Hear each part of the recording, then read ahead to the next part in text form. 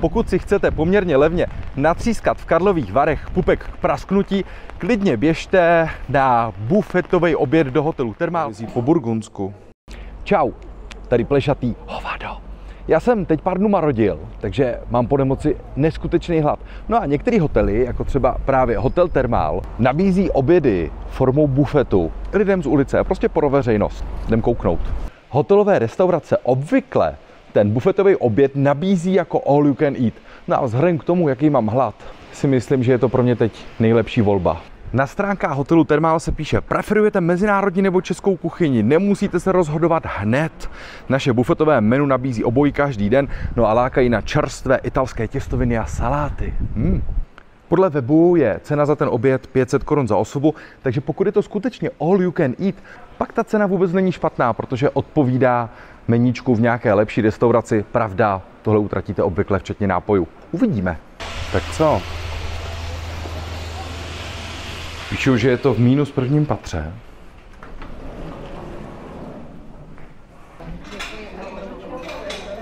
Můžu se u vás najít, i když nejsem host? Určitě, určitě, když chviličku počkáte, přijde Počkám. servírka, která to namarkuje. Dobře, dobře. Nebo jestli se chcete nejdřív najíst. To je v pohodě, potom- počkám. To je v pohodě. No, já teďka, jasně, jasně, jasně, jasně. Jasně, Zákaz vynášení jakéhokoliv jídla, nádob či příboru mimo dostavy. jo, jo, jo. Odnáší vám lidi jídlo, jo, takhle z toho bufetového. Ne. Fakt, jo. A jsme tady, tak co tu máme? Ale dezerty, ovoce, hmm. Je, yeah, sušený rajčata. Hmm, tady taková směs z rejží. Ukažte.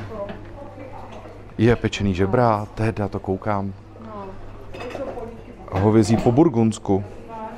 Ale to už jsem dlouho neměl hovězí po burgundsku. Můžu jít opakovaně nebo? Můžete, Jo, no. dobře, děkuju. Jasně, super, moc díky. Takže je to skutečně all you can eat. Můžu jít opakovaně, pokud mám zaplaceno. Můžu prý chodit furt dokola. Nejlepší zpráva dnešního dne. Tak, jsme pod dvečkou. Maďarská zelená s klobásou. To bude dobrý. To jo, Já ji doma taky dělám dám. vypadá krásně. Hele, a mají tu i pěkně napsaný alergeny, to se mi taky líbí. Hele, tak máme tady i pití. To je dobrý. Červená řeka, jablko. To je v ceně, to je bomba. Takže bych tady nemusel utratit ani korunu navíc a pokud bych chtěl něco lepšího, třeba pivečko, matonku, bohemia sekt, tak si můžu přiobjednat, to je super. Tak, jdeme na tu zelňačku. Krásně hustá, horká. Brambory, klobása. Trošku kyselější, ale výborná. Fakt jako dobrá polívka. Je to tady trošku takový old school. Já jsou tu strašně milí. A když je počasí, což dneska není, tak se dá i tady venku na té terase. Tak, teď zkusíme vývar. Hele, tam je kapální, takový nočky. Tak toho si vydáme trošku míň, ať nám zbyde dost místa na hlavní jídlo. Ta zelenička byla úplně skvělá, tak mi chutnala, i když byla trošku kyselější. A jdeme zkusit teda teď vývar. Je trošičku slabší. Ta chuť není tak výrazná. Nočky jsou moc dobrý, to kapání. Není to zlý, ale není to extra třída. Tak podle špačka, když máte takhle oběd formou bufetu v hotelové restauraci, tak nemáte nic odnášet, ani si ten talíř třeba brát na další jídlo. Ten máte nechat na stole a vždycky si vzít čistý.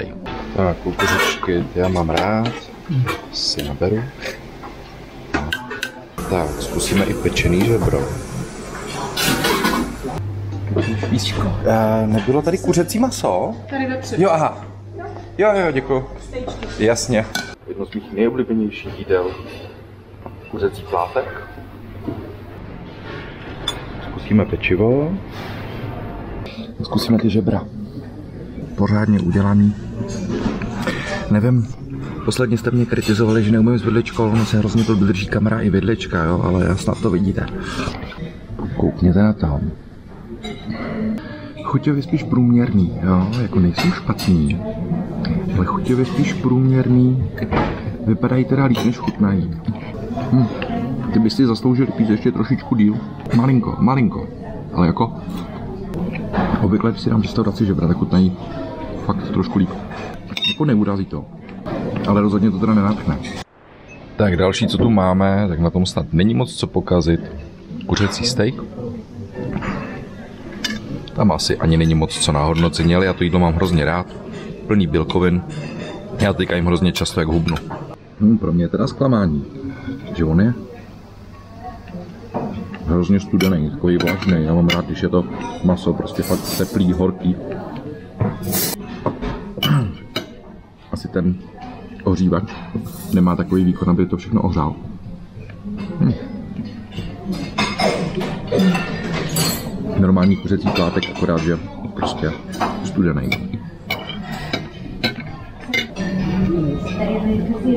Hmm, pečivo je boží. Hmm, to je fakt hrozně dobrý. Teď moje oblíbená kukuřička.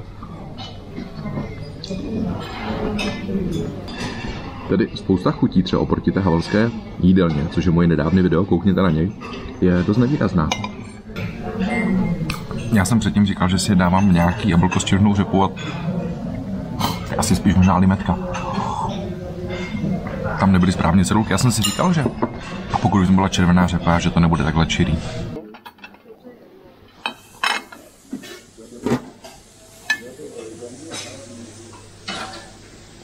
Já tady se hrozně těším na hovězí po Burgundsku. Hele, tady to je správně. To je v Karlových Varech, Karlovarský knedlík. A já jsem strašně knedlíkový, ale dáme si tři. A teď to hovězí.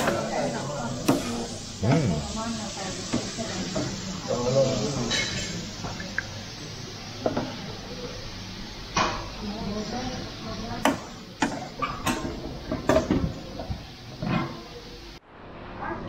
Tak a máme tady hovězí po burgundsku. To je vlastně taková francouzská verze tradičního maďarského guláče. No, jo. Jo, co si myslíte o tom mase?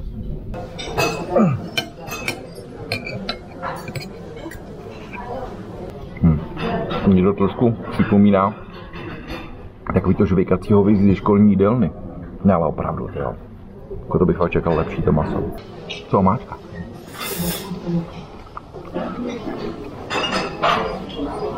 Zase, není to horký. Jo. Je to minuta, co jsem sedl ke stolu, nemohlo to rozhodně schladnout. Není to horký. Ještě knedlíček zkusíme.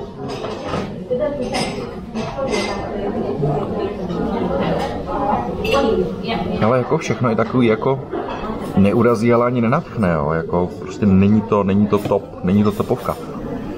Ten knedlík je strašně měkký. A naopak to maso je zase takový žužlavý. Chuťově ta omáčka nebyla špatná, ale koukněte, to se u mě nestává moc často, já jsem nedojedl maso. Tak pojďme si dát ještě špagety s porkem. Jenom na ochutnávku. Tak, rajčatový salát s vejcem a majonézou. Hmm. Tak jenom ochutnáme, aby jsme neurazili. Já jsem si nabral ještě jednou to kuře, aby jim nekřivděl. To už je trošku teplejší, ale furt to není horký. Já si, já si vzpomínám v prváku na vejšce. Jsme v Menze dole v suterénu měli jedno jídlo, které bylo napsáno, že je to kuřecí počísku. Počísku. Počínsku. A tam toho masa bylo tak strašně málo, že jsme začali říkat vždycky, když to vařili tohle jídlo, že to není kuřecí počínsku, že to je jenom počínsku. Tak tohle jsou špagety s porkem a já bych řekl, že to jsou jenom špagety. Ale jsou skoro bez chuti, takový spíš jako přílohový. Když třeba někdo k masu chce špagety, ale rozhodně tohle jako není plnohodnotný jídlo. Tak, další kolečko. Já mám strach, že jednou v nějaké hotelové restauraci mi řeknou, pane, tohle je sice all you can eat, ale jako už fakt ne. To se fakt bojím, hlavně u snídaní, třeba v nějakých lepších hotelích. Tak a ještě si dám poslední talíř. Ta omáčka z hovězí po burgundsku, karlovarský knedlík a hovězí maso jsem vyměnil za ten kuřecí plátek. Ještě než to zhrnu, tak vás poprosím, jestli máte tip na něco podobného, kam bych mohl zajít. Napište mi to prosím do komentářů. Samozřejmě nezapomeňte odebírat a budu rád i za sdílení. Co se týče té restaurace, tak já jsem z toho takový rozpačitej. Jo, to je asi to správné slovo.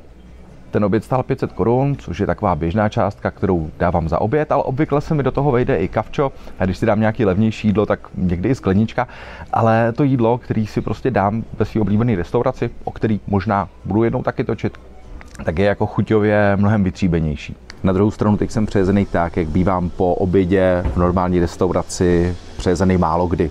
Takže vzhledem k tomu, že to 5 kg vlastně bylo za all you can eat, sněz, co můžeš, tak bych řekl, že ta cena je asi teda adekvátní, ale uh, spíš pro tu kvantitu, než pro nějakou kvalitu. Ale OK, tohle prostě není pětihvězdičkový hotel, není to myšelinská restaurace. Uh, hotel Thermal je taková průměrná čtyřhvězda s krásným bazénem na skále a je to hotel, který je bohužel navíc státní, což je podle mě jeho největší problém. Já si myslím, že stát by neměl provozovat hotely, neměl by vařit pivo a podle mě by neměl ani stavět nemocnice. Jo? To je teda můj osobní názor a podívám kolem sebe, tak to prostředí mě v tom jenom utvrzuje. Jinak eh, řekl bych, eh, že v té restauraci jsem byl možná, kromě obsluhy, jediný Čech. To složení těch hostů, kteří tam jedli se mnou, bylo poměrně dost multikulturní. Jsou tam lidi z Blízkého východu a spousta lidí z Ruska, kteří se tam cítí jako doma a chovali se přesně tak, jak si myslíme, že se budou chovat Rusové, když se někde cítí jako doma. A tím bych to uzavřel. Snad jen, že třeba v hotelu PUP je to osazenstvo úplně jiný. Tam převládají Češi, Němci, Rusu minimum. Takže pokud si chcete poměrně levně natřískat v Karlových Varech pupek k prasknutí, klidně běžte na bufetový oběd do hotelu Termál. Pokud hledáte gurmánský zážitek, běžte prosím vás pěkně někam jinam. No a přestože léto má podle kalendáře skončit až někdy zítra pozítří, tak je v Karlových Varech už několik dnů pěkně hnusně prší, je vlezlá zima a předpověď počasí nedává vyhlídky na nějaký výrazný zlepšení. Já jsem původně zamýšlel, že rodinu vezmu do tepla až někdy po novém roce, třeba v únoru se trochu ohřát, až teď na podzim si udělám pár nějakých kratších výletů do zahraničí. Ale do háje tohle vypadá, že bychom se měli co nejdřív zbalit a na pár týdnů si jet někam ohřát. Jestli máte nějaký tip, budu za to hrozně rád. Díky za sledování. Dejte mi prosím odběr a mějte se krásně. To bylo vaše plešatý. Oh,